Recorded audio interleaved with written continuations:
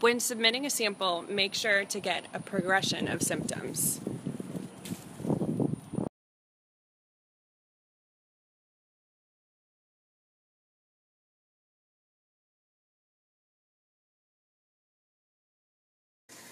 Hi, I'm here to submit my sample.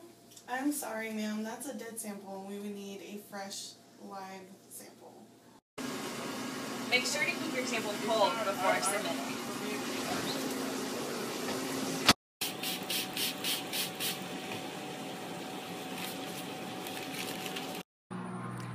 Just like pets and babies, don't leave samples in a hot car or direct sunlight.